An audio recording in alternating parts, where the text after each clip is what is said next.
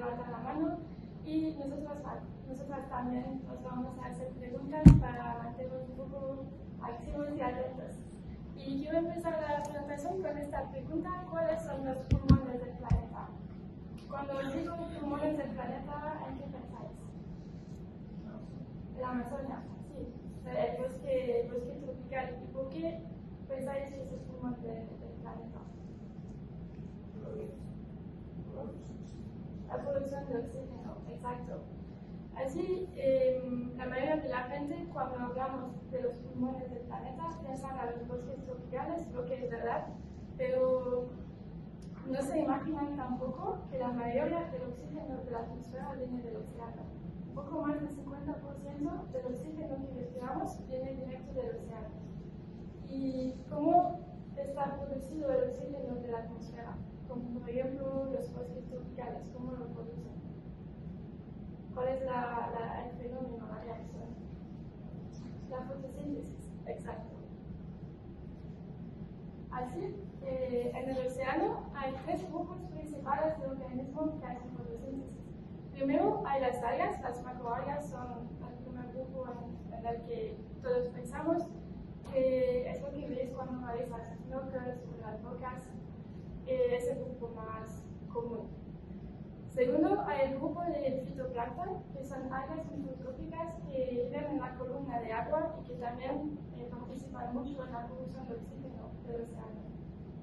Y el tercer grupo, y el protagonista de hoy, es el grupo de las plantas marinas, que veis aquí. ¿Habéis eh, notado, habéis observado igual que hemos puesto las plantas marinas las algas en dos grupos diferentes? ¿Alguien me puede decir por qué? ¿Alguien tiene una idea de por qué son diferentes? ¿No? Bueno, ahora vamos a verlo. Las plantas marinas y las algas son dos grupos muy, muy diferentes y la diferencia entre los dos, muy distintos, viene de su origen. Las algas son un grupo muy extendido, hay miles de especies y muy antiguo. Han aparecido en el océano más o menos hace 1.600 millones de años. De estas algas, una parte de las algas verdes ha evolucionado y ha movido para desarrollarse en, el, en la Tierra. Esto ha creado el grupo de las plantas terrestres hace más o menos 450 millones de años. Para daros una idea, los dinosaurios eh, aparecieron hace 240 millones de años y han desaparecido hace 66 millones de años. Y por último, el grupo de las plantas marinas han evolucionado de las plantas terrestres. Es una parte reducida de las plantas terrestres que han vuelto a vivir en el mar. Y por eso las plantas marinas son plantas terrestres y tienen características de plantas terrestres. Por ejemplo, tienen flores y tienen semillas. Mientras las algas son un grupo mucho más antiguo y más básico que las plantas terrestres. Eh, ¿Alguien me puede dar como una estimación de cuántas especies de plantas terrestres con flores que existen? ¿Cuántas existen en todo el mundo? Como un número así. ¿Mil? Es más. ¿Cien mil? ¿Cuánto? 250 mil. 250 mil, pues casi. Los científicos estiman que hay más o menos 300 mil especies diferentes de plantas con flores. Y ahora, ¿alguien me puede decir cuántas especies de cebaral, de plantas marinas, existen? Dicho que grupo muy reducido. 100. 100, pues un poco menos. Hay 60 especies de plantas marinas eh, en todo el mundo. Así podéis ver que de verdad las plantas marinas son una excepción. Las plantas terrestres, un grupo muy pequeño que ha vuelto en el mar. Y la razón por la que es una excepción es porque para una planta vivir en el mar presenta muchos desafíos. Hay muchos, muchas dificultades que no tienen en la superficie. Por ejemplo, el acceso a la luz o el acceso a los nutrientes. Y ahora vamos a ver cómo se han adaptado y por qué, cuáles son las consecuencias de esta diferencia entre las algas las plantas marinas. Así, aquí podéis ver dos imágenes como de la anatomía típica de una planta marina y de una alga. Las plantas marinas, aquí las llamamos el cebadal, es una palabra canaria, entonces cebadal y alga. La diferencia principal entre estos dos grupos es que el cebadal, que ha evolucionado más tarde, tiene lo que llamamos tejidos diferenciados. Esto significa que tienen órganos distintos. Tienen hojas, raíces y un rizoma, que es como una raíz eh, más gorda, subterránea, que utilizan para propagarse eh, en el sedimento. Por el contrario, las algas no tienen tejidos diferenciados y tienen el talo, que es más o menos el equivalente de las hojas del cebadal, y tienen una estructura que se llama el rizoide, aquí, y utilizan esta, estructura para sujetarse al fondo marino. Esta diferencia entre las dos puede parecer ser un detalle, pero es muy importante, esta diferencia anatómica, porque la mayoría de las especies de algas necesitan un fondo rocoso, un sustrato rocoso para sujetarse, para estabilizarse, mientras las cebadales, los cebadales pueden vivir y crecer en los fondos arenosos. Y ahora puede parecer un detalle, pero vais a ver más tarde que es muy importante. Y entonces aquí en las Islas Canarias tenemos cuatro especies de plantas marinas, pero la más importante y la más extendida es esta, la Cimodocea nodosa o cebadal como decimos aquí. Eh, en esta primera foto podéis ver, ver, que como os he dicho antes, es una planta terrestre que ha vuelto al mar y tiene flores. En esta foto es la flor masculina eh, femenina y tiene también flores masculinas que son más pequeñas y verdes. ¿Alguien me puede decir por qué las flores son tan pequeñas y no, son muy, no tienen muchos colores? ¿Qué? ¿Por qué? Falta de sol. Los nutrientes. ¿Y cuál es la función de una flor aquí en la superficie? Es, exacto, es por, por, por, la polinización. En la superficie, eh, aquí en la Tierra, la mayoría de las flores son polinizadas con los insectos. Así tienen que ser muy llamativas, grandes, con colores, para atraer a los insectos y tener este proceso de polinización. Pero en el mar la polinización se hace con el agua y así no hace falta gastar energía para atraer insectos o cualquier cosa y por eso son muy reducidas y es muy difícil encontrarlas cuando vais a. En la segunda foto es una foto que es de aquí, el sur de Tenerife, de Arales, por si conocéis. Y esta foto es muy útil porque os da una imagen eh, muy exacta de la anatomía, la morfología de la planta. Podéis ver aquí los sedimentos, el lecho marino, y por arriba, la parte de arriba, ves las hojas, son hojas muy largas y forman como una pradera submarina. Y la parte subterránea, eh, usualmente no se ve, pero en este caso hubo algún daño físico y está expuesta. Y podéis ver que debajo, dentro de los sedimentos, hay como una red de raíces y de rizomas muy extendida y muy densa. Y es con esta red eh, y esta capacidad de crecer raíces que pueden sujetarse de manera tan eh, estable y que pueden también como crecer en el sedimento y colonizar un fondo arenoso. Entonces, ahora vamos a ver por qué para ustedes es importante a la luz de todo lo que hemos dicho este ecosistema comparado a otros. ¿Qué importancia puede tener?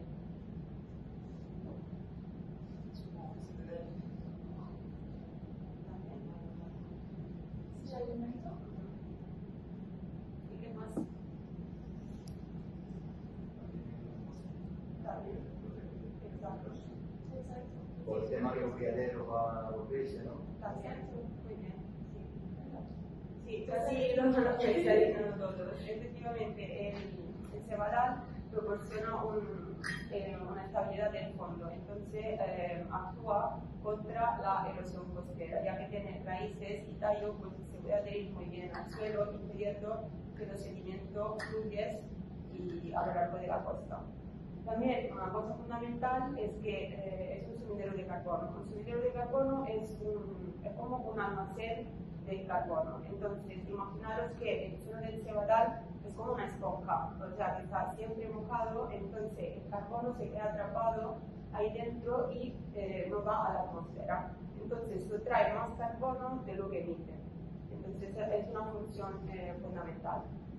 Y obviamente también eh, añade una dimensión, porque no es simplemente un suelo arenoso, sino también con las hojas, pues añade una tercera dimensión al fondo marino y eso sirve para alimentación y eh, para refugio también de, animales. Y por último también eh, tiene un valor cultural muy importante porque, eh, por ejemplo, en Aguades el turismo está asociado a la presencia de cebadal. Como sin este ecosistema probablemente las tortugas que están ahí, que vienen a alimentarse, pues no estarían. Entonces, si no está el cebadal, no está la tortuga, entonces luego también el turismo, el valor cultural va un poco perdiendo. Entonces, ahora vamos a ver algunas de las especies fundamentales más conocidas aquí, que tenemos aquí, que viven en nuestras praderas marinas. Pues primero de todos es el pipa, que es el más famoso asociado al cebadal, que también tenemos en el, el ahí a la entrada. Y es muy difícil de ver porque eh, se camufla súper bien y se pone en vertical y como las hojas de cebadal, entonces ya aparece una hoja. Y luego hay la vieja, eh, con el pez loro que aquí se llama vieja, este en concreto es un ejemplar femenino, el único que tiene colores más llamativos comparados a um, los machos. Pero es más probable que se vean juveniles en el, uh, en el cebadal. Y los machos están a más profundidad. Y obviamente tienen un, un interés pesquero muy importante aquí en Canarias. Luego hay el choco, como lo llaman aquí, que bueno, sería la, la sepia, eh, que también está asociado a la presencia de cebadal y como todos los cefalópodos, al igual que el pulpo, si se siente amenazado, eh, tira una, una tinta. Luego, aquí hemos puesto las tres especies amenazadas más emblemáticas, hay otras, eh, tristemente, pero esas son las más eh, emblemáticas asociadas al cebadal. Primero de todo, la tortuga verde. Eh, como sabemos, aquí las tortugas eh, vienen, llegan a Canarias para unas décadas, simplemente para alimentarse y luego eh, migran. Entonces, en esa época todavía no sabemos bien el, su orientamiento sexual porque no, eh, no tienen la madurez sexual. Entonces, vienen aquí para alimentarse y si el cebadal, como ya se está perdiendo, pues eh, para ellas es muy, muy difícil encontrar alimento. Eh, luego hay el angelote, el, el tiburón ángel, que eh, también es eh, que juvenil, es una socializada a la presencia de cebadal porque ahí pueden encontrar refugio. Y podemos observar, tenemos la suerte de tenerlos aquí en Canarias porque en otros sitios del mundo pues no, no se pueden ver. Eh, luego hay también la mantelina, que es asociada a, una, a, fondos arenosos porque se cubre y para esconderse y mimetizarse se cubre con arena. Entonces, donde hay arena, ahí también se va dando. También es una especie amenazada porque tiene un bajo eh, valor eh, reproductivo, se produce muy poco. Entonces, tristemente ya tenemos pocos ejemplares. Pero la razón por la que estamos aquí haciendo esta colaboración y esta presentación es porque este ecosistema está desapareciendo en las Islas Canarias. De hecho, un artículo publicado en marzo de este año ha calculado que aproximadamente la mitad de la superficie de este ecosistema ya se ha perdido en las islas en los dos, eh, las dos últimas eh, décadas. Así que puede ver que la velocidad al que está desapareciendo es muy alta y este mismo artículo ha calculado también que si no hacemos nada, si no tomamos medidas, va a desaparecer completamente de las Islas Canarias en 2036, que es muy, es muy cerca, menos de 15 años. Pero ¿por qué está desapareciendo? Hay varias razones y es importante de entender que cuando se va a dar una pradera que desaparece en un sitio, en la mayoría de los casos no es por solo efecto, no es por solo un impacto, pero es más una interacción entre diferentes, diferentes impactos. Aquí tengo los impactos principales hay más, claro. El primer impacto es la competencia con las algas oportunistas. Eh, hay que tener en cuenta que esta cohabitación entre el cebadal y las algas verdes es un fenómeno natural que, que ocurre en la naturaleza cuando eh, la profundidad aumenta. Pero cuando, por ejemplo, la calidad del agua baja, este equilibrio entre las dos especies está perturbado y puede pasar que las algas empiezan a ganar la, la competencia con las cebadales y empiezan a... El primer impacto es la competencia con las algas oportunistas. Eh, hay que tener en cuenta que esta cohabitación entre el cebadal y las algas verdes es un fenómeno natural que, que ocurre en la naturaleza cuando eh, la profundidad aumenta. Pero cuando, por ejemplo, la calidad del agua baja, este equilibrio entre las dos especies está perturbado y puede pasar que las algas empiezan a ganar la, la competencia con las cebadales y empiezan a invadir, invadir y la pradera y poco a poco el cebadal desaparece y se ve reemplazado por algas eh, verdes. Y mm, las algas verdes eh, suelen tener, mm, las praderas de algas verdes, los bosques de algas verdes tienen una biodiversidad más baja que los cebadales. El segundo impacto, que igual es eh, el más obvio y lógico, es el daño físico. Eh, este daño es muy frecuente en la isla, por ejemplo, cuando los barcos fondean, echan la ancla en, en una pradera y no saben que hay una pradera debajo de ellos. Eh, la ancla va a arrastrar el fondo y va a dañar eh, la pradera. Y así, un daño que se hace en unos minutos puede tomar años para que la pradera se recupere después de este daño físico. Quería preguntar, por ejemplo, también las cremas solares que mejoran el cuerpo, bañamos en estos sitios, dañan mucho el cuerpo. Sí, claro, la crema solar impacta la calidad del agua y tiene un impacto sobre todos los organismos, incluyendo el cebadal. Sí. Sí, hay países donde incluso prohíben echarse crema solar y para poder bañarte. Sí, sí, por eso. En los países distribuidos, como distribuidos para el océano. Sí, ahora hay marcas que empiezan a cambiar la composición y a hacer cremas solares que son mejores para el medio ambiente, pero sí tiene un impacto que, por ejemplo, en los países con corales ahora se preparan estas medidas, porque es muy tóxico. Y entonces sí, eh, hay la calidad del agua, los daños físicos con las anclas, y en esta foto podéis ver un daño físico hecho por una lanza de pesca abandonada. Ha sido abandonada y en la pradera podéis ver que nada crece alrededor de la que las plantas no pueden mm, crecer donde hay la lanza. El tercer impacto que es conocido aquí es el desarrollo costero. En esta foto he puesto el, el famoso puerto de Granadilla que está construido sobre el cebadal más extendido de toda la lago. Este desarrollo costero tiene una consecuencia directa cuando están construyendo el puerto, las obras, claro, van a matar plantas directamente, pero también tiene consecuencias indirectas porque por ejemplo, en el caso de este puerto, eh, los muelles y los rompeolas están tienen un impacto sobre el hidrodinamismo de la zona, tienen un impacto sobre las corrientes, la velocidad de sedimentación. Pasar que un cebadal que se encuentra al lado se ve enterrado poco a poco por los sedimentos porque las corrientes y todo ha cambiado y mueren porque no tienen acceso a la luz. Sí, este puerto ha matado un norte cuando ha sido construido. Y por último, eh, otro impacto muy mediático ahora es la contaminación del agua. Esta foto la hemos tomado en Avales también, en el sur de Tenerife, y es un vertido de aguas residuales ilegal. Este vertido está vertiendo agua así todos los días y el agua no tiene tratamiento, va directo desde las casas hasta el mar. Podéis ver también esta foto que ninguna planta crece alrededor del vertido por la calidad del agua, que es, es muy baja. Y podéis ver también que hay muchos peces que se alimentan directo de las partículas que están emitidas por el vertido. Aquí son salvos son peces que tienen un interés pesquero muy alto.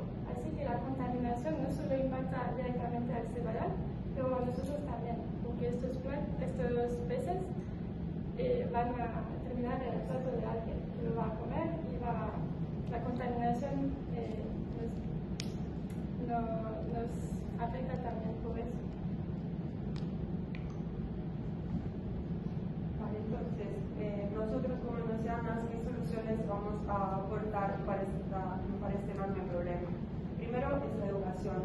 Entonces, ahora estamos aquí explicando la importancia del celular, pero también hacemos talleres y sesiones a cargo de, de la isla. Eh, entonces, porque creemos firmemente que educar y conocer un ecosistema es el primer paso luego para eh, tomar medidas, tomar acciones y protegerlo. Luego, obviamente, eh, nos enfocamos a la investigación en nuestras actividades diarias y también tenemos proyectos de restauración. Entonces, luego mi compañera explicará en detalle mm, cuáles son los tipos de restauración y cómo se hace, pero obviamente el objetivo es mm, plantar otra vez eh, el solar para que tenga más probabilidades de formarse otra vez. Entonces, primero, la educación. Eh, formamos diariamente, tenemos eh, varias chicas eh, que están de internship con nosotros, de prácticas, y también hemos puesto carteles a lo largo de Guía Visoria, en San Juan, en Alcalá, para explicar a las personas um, la biodiversidad que está en, en, en nuestras costas y en nuestros océanos. También, obviamente, estamos siempre muy atentos a nuestras redes sociales y para compartir todas nuestras actividades y involucrar más personas posible y crear eh, conciencia. Y eh, entonces, parte de la educación, también, obviamente, estamos súper enfocados con la investigación. Y hemos eh, hecho un proyecto muy importante que se llama Innomapa, donde hemos eh, eh, comparado la cartografía existente eh, de los cebadales con lo que hay actualmente. Y tristemente hemos averiguado que hay una regresión eh, muy, muy importante.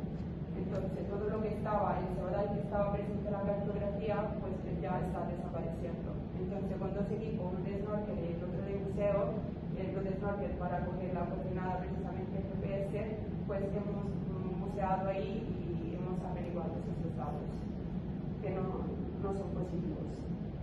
Luego, eh, también identificado las amenazas, por ejemplo, en el Gran Cebadal de Abades, donde hay buceadores todos los días eh, van a visitar ese sitio, justo ahí al lado, como en Liceo Asociantes, hay esto vertedero ilegal, entonces ahí eh, hemos eh, hecho la análisis de la calidad del lago, entonces coger una muestra justo ahí cerca del vertedero y lejos, para comparar eh, la calidad del lago, cómo, cómo cambia. Y también eh, hemos, hecho un proyecto con la Universidad de la, de la Laguna eh, para estudiar lo microplástico. Entonces, ya el cebadal, como os he explicado antes, es consumidor de carbono, entonces atrapa el carbono. Y al igual que el carbono, lo hace con lo microplástico. Entonces, el, el microplástico, que son eh, la, las partículas pequeñas que, mm, que se quedan de los trozos de plástico que están abandonados en el océano, pues se pegan en las hojas y luego de, la, de las hojas van al y ahí se. Entonces eso es otro problema. Y la razón de la colaboración entre el Hotel Hilton de Tenerife y Oceana es porque para Oceana el próximo paso eh, para proteger el cebadal es hacer restauración activa. Así uh, tenemos un proyecto de restauración de cebadal eh, porque hace falta protegerlo, educar a la comunidad, pero también si lo tratamos esperamos aumentar la superficie del ecosistema eh, de manera más rápida. Pero ¿cómo funciona la restauración cebadal? Eh, como os he explicado al inicio de la presentación, es una planta con flores y las plantas con flores producen semillas. Como podéis ver en esta foto, una semilla de cebadal es así. Así, en la buena época del año, que es más o menos en el verano, eh, vamos a bucear y podemos recoger así las semillas de cebadal y vamos a hacer su germinación in vitro en el laboratorio. Lo hacemos en el laboratorio porque la tasa de germinación natural del cebadal es muy baja y con un tratamiento especial podemos aumentar la tasa de germinación eh, de en el laboratorio. Cuando la semilla germine, eh, va a ser un brote, una pequeña planta Y esta planta tiene que crecer aproximadamente un mes en una pecera. Eh, y la pecera está conectada con el mar para que la planta pueda eh, aclimatarse a las condiciones del mar. Y una vez que tiene un tamaño mínimo, vamos a plantarlo de nuevo eh, en la zona de trasplante así vamos a recrear poco a poco una pradera eh, en el fondo arenoso. Es importante también de continuar um, de, de hacer un monitoreo de estas plantas porque tienen, hay que averiguar cuál es la tasa de sobrevivencia de estas plantas porque una parte va a morir también cuando las plantamos o igual con las corrientes las algas pueden pueden ser eh, y en teoría eh, si algunas plantas se mantienen sujetadas al fondo van a empezar a, creer con los, a crecer con los rizomas y van a extender la pradera así. Este proyecto se llama Los Jardineros del Mar porque vamos a plantar cosas en el mar y también es importante notar que mm, los cebalales son una especie protegida a nivel nacional y también a nivel europeo. Así que para hacer este la autorización del Ministerio para la Transición Ecológica y Alimentos Demográfico. Entonces quiero terminar esta presentación con una citación de Jacques Cousteau que dice la gente protege, aquello que ama. Y en Inglaterra creemos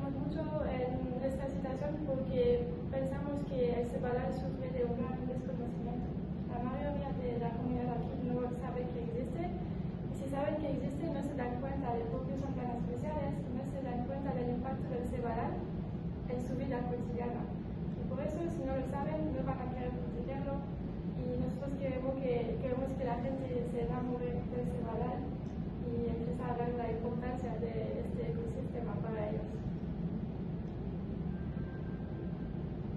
Llegamos al final de la presentación. Eh, os quiero dar las gracias por vuestra participación y vuestra atención. ¿Y alguien tiene alguna pregunta?